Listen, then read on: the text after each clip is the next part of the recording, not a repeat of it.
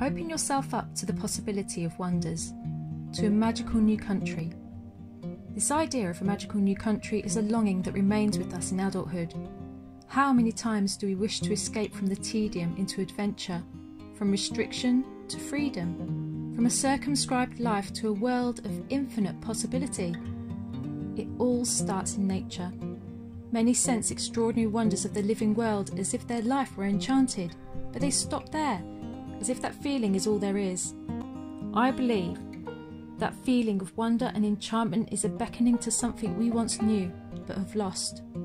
To quote author Simon Barnes, we're not just losing the wild world, we're forgetting it. We're no longer noticing it. We've lost the habit of looking and seeing, and listening and hearing.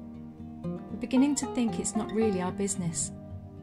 We're beginning to act as if it's not there anymore. I would argue that we have forgotten, and for a long time too.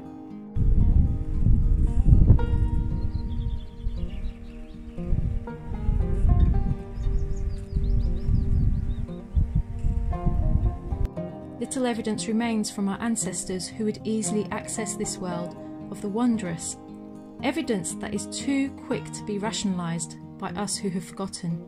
But this hidden world can be made visible we can remember what we once knew. It starts by becoming an apprentice to the land. Author Sharon Blackie said, To fully enter into the land's secrets and to imagine yourself ready to offer them up to others, you need to live in that land.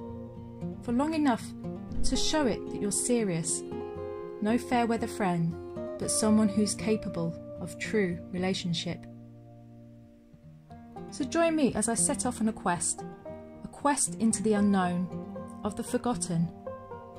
I will not be aiming to solve riddles from the past, but rely upon raw intuition. I will paint, draw, and keep field notes as I visit various locations, as well as enter into a relationship with the land I call home, to patiently allow the secrets of these places to be revealed. I will be working in multiple journals, one I call my Wonderment Journal, where many wonders will be documented. I will have field notes, art journals, swatch books, and more. I truly believe this is just the beginning in creating a life you love. My quest will require me to stretch my faith, exercise imagination, and to believe big. This quest will overlap and eventually merge with everyday life, manifesting dreams and desires many do not think are possible. Power is with, within us to create a life we love, but first we must align with love with nature, and with the universe. We each have a specific calling, but to answer that call, we must be true, we must be brave, and we must believe. We must be prepared to open ourselves up to the possibility of wonders.